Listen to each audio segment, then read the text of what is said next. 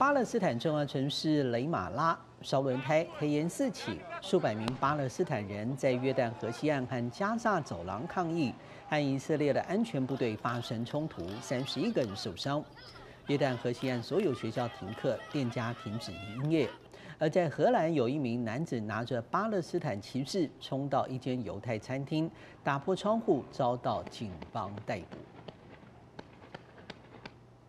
美国加州林火第四天，在圣塔安娜焚风的助长之下，火势失控。